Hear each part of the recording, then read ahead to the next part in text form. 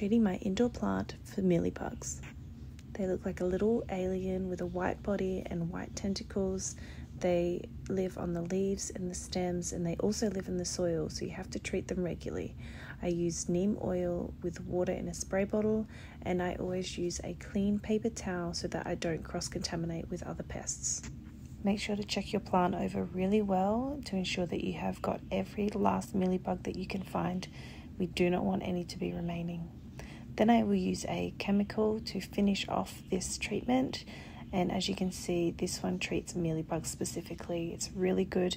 They die pretty well straight away, but just remember they are hiding in the soil. So do this again in a couple of weeks and check it regularly. Follow for more.